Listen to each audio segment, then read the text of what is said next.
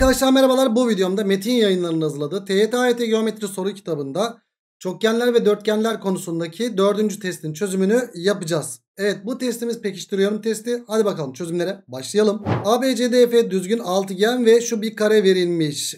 Yukarıdaki verilere göre karenin alanının üçgenin alanına oranı nedir diye soruluyor arkadaşlar bize. Şimdi ne yapacağız arkadaşlar? Burada şunlar birbirine eşit değil mi? Kare olduğundan dolayı. Evet. Düzgün altıgen olduğundan bunlar da birbirine eşit. E tamam olay bitti. Hocam ne yapacağız? Şurası kaç derece? 90 derece. Tamamı 120 derece olduğundan burası da 30. E buradaki sinüs alan formülünden bulabilirsiniz ama bence gerek yok. Tabana ait yükseklik çizseniz yeterli olacaktır. 90'ın karşısına 2 dersek 30'un karşısı 1'dir. Tabana ait yükseklik bu çıktı. E hatta çift çizgi dediğimiz 2 çıktı. Karenin bir kenarı da 2 çıktı. Oran istenildiği için 2KK falan yazmıyorum. Bizden oran isteniyor. Karenin alanının yani 2'nin karesinin EFG üçgenin alanının oranı. Hocam tabanı 2 yüksekliği kaç? 1 olduğundan dolayı 2 çarpı 1 bölü 2'ye eşit. Yani 4 bölü 1'den cevabımız ne çıktı arkadaşlar? 4 çıktı. Birinci soru Edremit oldu. Geldik ikinci soruya. ABCDF arasındaki ilişki nedir diye soruluyor arkadaşlar bize. Bence dış açılardan gitmek daha mantıklı. Hocam burası 180 eksi B. Hocam burası da 180 eksi D. O zaman hepsi dış açı mı oldu? Evet. A artı 180 eksi B artı C artı 180 eksi D artı E eşittir 360 yapmalı. Bu 360 ile şu sol taraftaki 360 birbirini götürdü. Buradan ne geldi? A ve C ve E. AC geldi. Eşittir B artı D mi yaptı? Eksi B ile eksi D'yi öbür tarafa atınca evet. Yani cevabımız böylelikle Balıkesir oldu ikinci soruda. Geldik üçüncü soruya. ABCDF ve KLMNPR birer düzgün altıgen olarak verilmiş. Boyalı bölgenin alanı 30 kök 3 olarak verilmiş ve çevresi de 60 birim olarak verilmiş. Yalnız burada x parça var galiba arkadaşlar. Şuraya da bir not olarak yazın isterseniz. Bunların aynı merkezde olması lazım. İşte ağırlık merkezi ya da çevrel çemberin merkezlerinin aynı olması lazım altıgenlerin. Ve birer kenarlarının da paralel olması lazım arkadaşlar. Ee, ne oluyor o zaman alttan eşkenar üçgen oluşuyor ve şunlar doğrusallık şeyi sağlanıyor mu arkadaşlar? Sağlanıyor. E, tüm alanı boyalı bölgenin alanını kaç vermişler? 30 kök 3 vermişler. Hocam 6 tane bundan var ya aynısı olduğu için burası ne yaptı? 5 kök 3 yaptı. E o zaman ben şuraya bir x buraya bir y diyecek olursam şu da bir eşkenar üçgen. Onu sildim. O da bir eşkenar üçgen. Y y y. Büyük de bir eşkenar üçgen. X x x. Yani şurası ne yaptı? X iken burası da x. Şurası da x yaptı arkadaşlar. Şimdi boyalı bölgenin alanı nedir? Hocam büyüğün alanından x kare eksi y kare küç, e, küç, küçüğün alanını çıkartacağım. Yani büyüğün alanı nedir?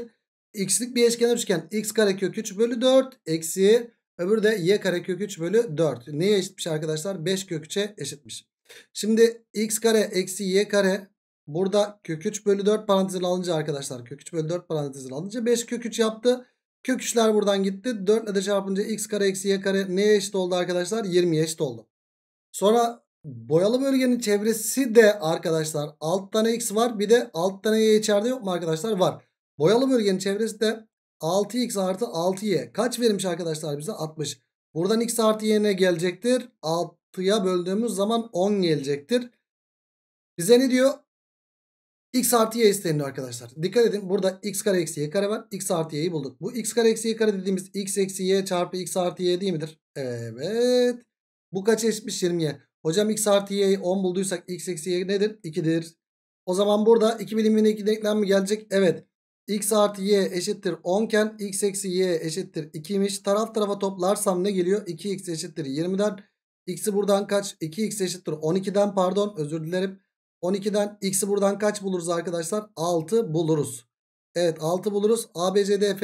Evet burası 6 ise Çevrede kaç yapıyor? Alttan alttan 36 yapar arkadaşlar. Cevabımız böylelikle 36 yaptı. Yani 3. soru denizli oldu.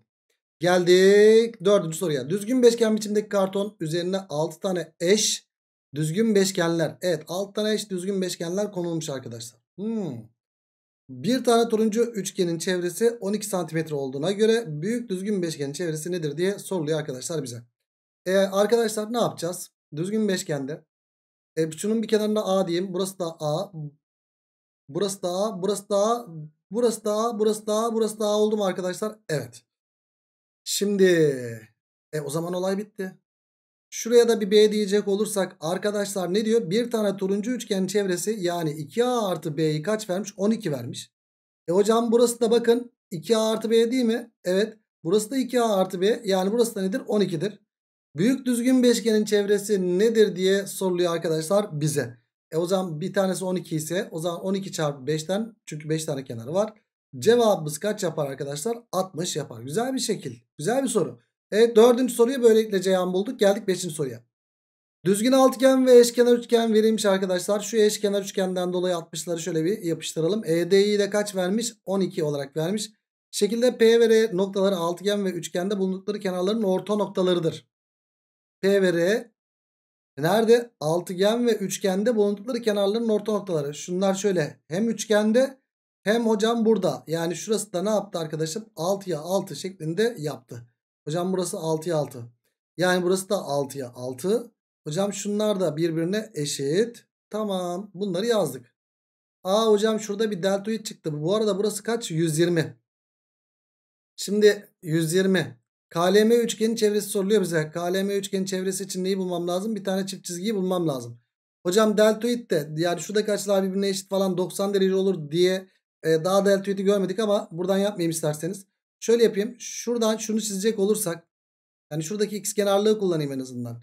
Hocam neredeki x kenarlığı kullanayım? Şu x kenarlık şurada x kenarlık. Şunu şöyle çizdiğiniz zaman ne çıktı arkadaşlar? Hocam tepe açısı 60 o zaman 180 60 çıkart 2'ye böl 60 60 oldu. Hocam 6 6 ise burası 6 kök 3 mü oldu? Evet 6 kök 3 ise burası da 6 kök 3 yaptı. Burası da 6 kök 3 yaptı. O zaman çift çizgi dediğimiz 6 kök 3. Bir kenar kaç yaptı? 12 kök 3 yaptı.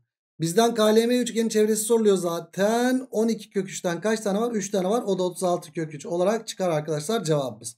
Yani 5. soru böylelikle Akçay oldu. Geldik 6. soruya. Şekilde verilen ABCD dikdörtgenin her bir kenar şekildeki gibi aynı doğrultuda kendi uzunluğu kadar uzatılarak A üssü B üssü C üssü D üssü elde edilmiştir. ABCD dörtgenin alanı 18 olduğuna göre diyor. A üssü B üssü C üssü D üssünün alanı nedir diye soruluyor. Arkadaşlar alan dağıtacağımız belli. Dağıtalım bakalım arkadaşım. Hocam şuradan başlayayım isterseniz. Ya istediğiniz yerden başlayın. İsterseniz D'lerden başlayın. D'lerden başlasak hocam. Hocam D'lerden başlasak D'deki alan A ise hop şunu da çizsen. D'deki alan yine A mı? Dur ben bir şey yapacağım galiba arkadaşlar. Bir saniye. Bir saniye. Şunu bir kopyalayacağım. Sanırım bu bana lazım olacak arkadaşlar. Tek taraflı çözülmeyecek çünkü. Bir daha yapıyorum. Hocam D'deki alan A ise yine D'deki alan A mıdır burada? Evet. Alan dağıtalım. D'deki alan A ise buradaki alan A'dır. Hocam burası B ise B'deki alan B ise B'deki alan B ise yine üçgen oluşturalım mı arkadaşlar? Oluşturalım. Şurada da üçgen oluşturduğun zaman hocam B'deki alan B ise B'deki alan yine nedir? B'dir. C'deki alan B ise C'deki alan yine nedir arkadaşlar? B'dir. Sonra neresi kaldı arkadaşlar? A, A'da kalan A ise A'da kalan yine A'dır. Şu sağlı sollu olanları buldum arkadaşlar.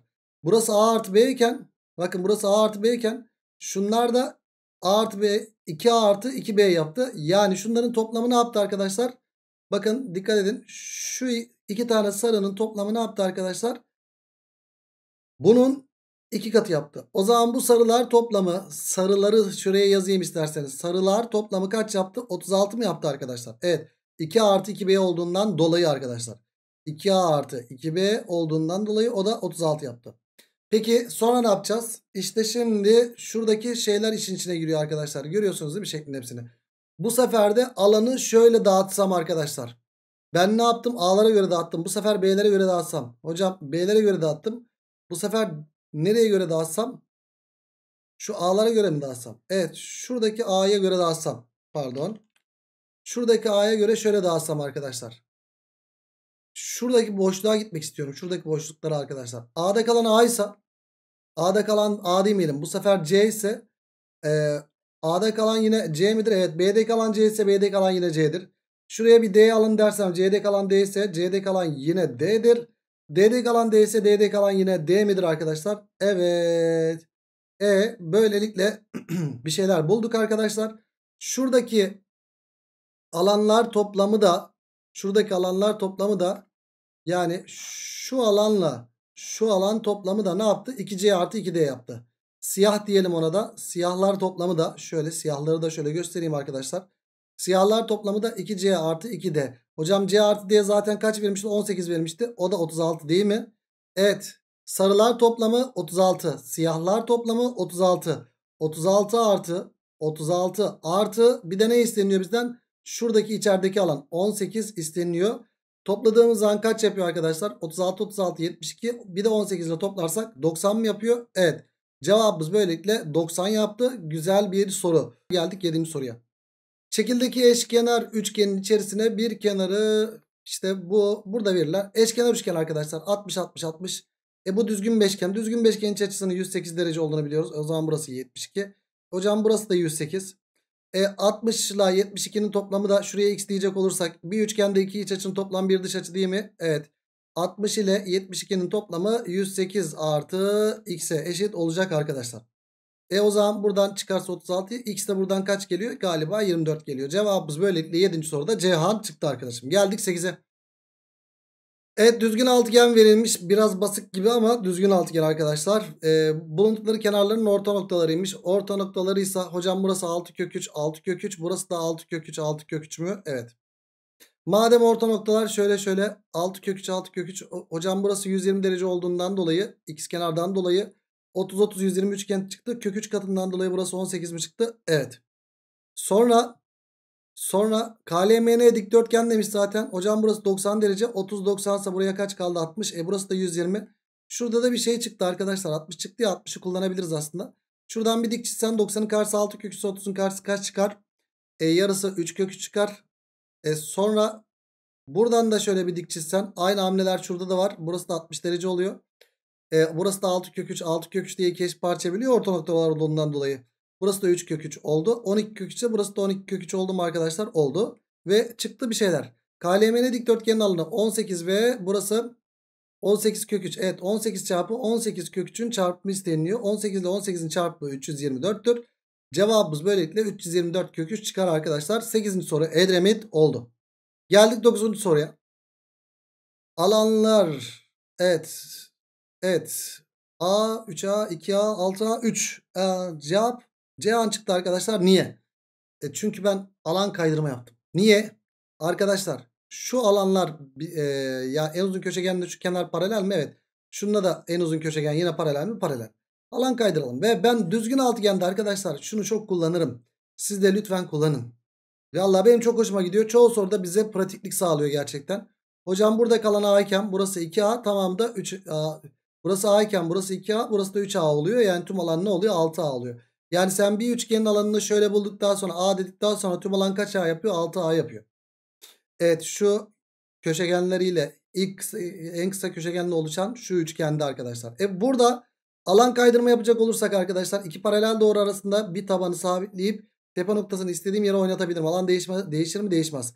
Aldım tepe noktasını buraya getirdim. Alan değişmeyecek. Hop buraya geldi arkadaşlar. Şuradaki alan dediğimiz mavi alan şu sarı alana eşit oldu. Aynı şekilde burada da arkadaşlar Şurada da tabanı sabit tutup tepe noktasını hop buraya ya da yukarı getirebilirsin. Hiç fark etmez. Şöyle getirdiğin zaman yine buradaki üçgenle buradaki sarı alan birbirinin tıpkısının aynısı mı oldu? Evet. E hocam burası A iken buradaki alan da A'dır. Yani mavi alanlar ne oldu? 2A oldu değil mi? 2A.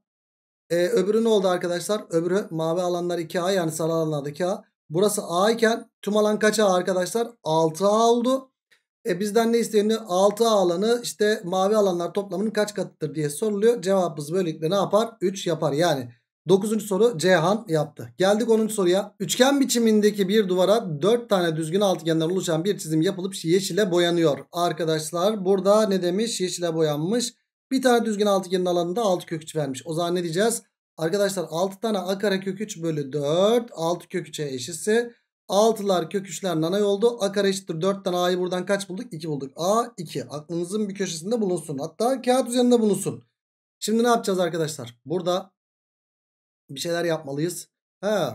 Hocam şu aslında bir altıgenin düzgün altıgenin bir yarısı değil midir arkadaşlar? Yani şunu şöyle uzatsan düzgün altıgenin yarısı yaptı. Aynı zamanda üçgen oluştu. Aynı şekilde şunu da yaparsan aynı şekilde bunu da yaparsan çok güzel üstte de üçgen oluştu. Düzgün altıgenin yarısı da oluşmuş oldu arkadaşlar burada. E devam edelim o zaman. Bir kenar 2 idi. Bir kenar 2 ise bir kenarın 2 katı değil mi en uzun köşegen arkadaşlar? Çünkü düzgün altıgenin yarısı bu. Simetri ekseninden kesilmiş. Yani burası 4 yapar. E burası da kaç yaptı? 2. Hocam bu büyük üçgen eşkenar üçgen değil mi? 60 60 60'ları bir yazalım. Hocam burası 120'den dolayı burası 60 yapıyor. Burası da 120'den dolayı burası da 60 yapıyor. Burası da 120'den dolayı burası 60. Burası 120'den dolayı burası da 60. Bak bunların hepsi ne oldu? Eşkenar üçgen çıktı mı arkadaşlar? Çıktı. Bir kenarı kaç yaptı burada? 4, 8. Hocam burası da 8. Burası da 8 oldu. 2 birim. Burası kaç yaptı arkadaşlar? Yine aynı şekilde 2, 4 ve 2'den dolayı bir kenarı da 8 birim yapmış oldu. Şimdi bizden ne isteniyor? Turuncu boyalı bölgenin alanı nedir diye soruluyor arkadaşlar.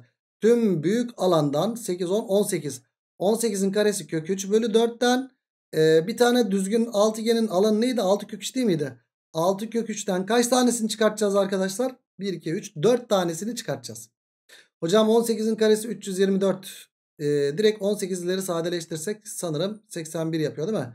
Evet 18 ile 2, 2 sadeleşse 9 kalıyor. 9 kalıyor 81. Evet 18'in karesiyle 4 sadeleşince 81 kaldı. 81 kök 3 eksi 24 kök 3 yaptı arkadaşlar. Cevap e, bu da kaç yapıyor? 57 kök 3 mü yapıyor? Cevabımız böylelikle 57 kök 3 olmuş oluyor arkadaşlar. Evet cevabımız 57 kök 3 oldu 10. soruda. Geldik 11. soruya. Düzlemde kenar uzunluğu 2 birim olan iki özdeş altıgen birer kenarları ortak olacak şekilde çizilirse altıgenlerin evet altıgen çizeceğiz arkadaşlar. Altıgeni şöyle bir çizelim bakalım. Bir tane altıgeni çizdikten sonra diğerini kolay bir şekilde çizeriz. En azından ben çizerim. Nasıl çizeceksiniz hocam? E, teknolojiyi kullanacağız. Ne yapacağız? Şurada kısa yollar H var. Yo H yapmayayım. Pardon. Şunu şöyle seçeyim. CTRL C diyeyim. Sonra CTRL V diyeyim. Alın işte. Şey oldu. Ne diyor? Birer kenarları çakışacak şekilde diyor. Değil mi arkadaşlar? Şu şekilde çizdik. Hatta biraz şöyle aşağıda mı göstereyim? Heh, şöyle göstereyim. Diyor ki bize düzlemde kenar uzunluğu 2 birim olan iki özdeş altıgen birer kenarları ortak olacak şekilde çizilirse altıgenlerin en uzak iki köşesi arasındaki mesafe nedir diye soruluyor arkadaşlar bize. Nedir en uzak iki mesafe? Şurası mı? Şurası mı? Tabii ki burası. Yoksa burası mı? Şurası mı? Şurası mı arkadaşlar? Sanırım şuraları değil mi arkadaşlar? İstersen bunu bul. Ondan sonra burası da çıkar zaten. Zaten bunu çizmemiz gerekecek. Çünkü niye? Görürsün. Bu ve bunu çizsen gördüğün üzere bir kenarı kaçtı arkadaşlar? 2. 30 30 120'den dolayı 2 kök 3 hocam. 2 2 2 kök 3 hocam burası da. Burası 30 derece ya. Buraya 90 kaldı. Bak 90'ın karşısındaki bu oldu. Hipotenüs oldu. Bunu bulacağız. E zaten burası da 2. E ne çıktı burada arkadaşlar? Hop şöyle bir dik üçgen çıktı. Dik üçgenin kenarları kaç? Hocam 2'ye 4 kök 3. 4 kök 3. Yani x'in karesi eşittir. 2'nin karesi artı 4 kök 3'ün karesi. Uzun yoldan yapıyorum ama kusura bakmayın artık. 4 artı 48'den 52 çıktı. 52 de x da buradan kök 52 olacaktır. O da ne yapıyor arkadaşlar? 4 çarpı 13 olduğundan dolayı 2 kök 13 yapacaktır. Cevabımız böylelikle Akçay oldu. Geldik bir sonraki soruya. Evet şu şekil oluşmuş kırmızı ölçü. Şuradaki kırmızı ölçü nedir diye soruluyor. Arkadaşlar yani şuradaki açılar falan filan belli aslında ama sanki üçgenden gitsek daha iyi olacak arkadaşlar. Yani sen buradaki açıyı bulur musun? Bulursun. Sonra buradaki açıyı bulur musun? 90'dan dolayı buradaki açıyı da bulursun. Hocam 59 ile neyi toplarsak 90'ını yapar? 31'i. 73 ile neyi toplarsak yapar hocam? 17'yi. E burası da 90 derece ya. Şurada bir boynuzum var arkadaşlar. Şu üçünün toplamı 90'a eşit olacak. Evet. Şuraya A dersek A artı 17 artı 31 A eşittir 90 yapmalı. Ee, buradan şu ikisinin toplamı 48 yaptı. O zaman 90'dan 48 çıkınca 42. A'yı buradan 42 bulduk. E arkadaşlar A 42 ise burası 90 burası 90 olduğuna göre şu ikisi 180 ise bu ikisi de 180 yapmalı. Çünkü tamamı 360 derece olduğundan dolayı. Yani 42 ile x'in toplamı 180 yapacağından x'i de burada 138 derece olarak buluruz. Yani cevap 12. soruda Edremit çıktı arkadaşlar. Ve böylelikle bu testin de sonuna geldik. O zaman ne diyoruz? Bir sonraki videoda 5. 5. testin çözümünde görüşmek dileğiyle. Kendinize iyi bakın. Hoşçakalın.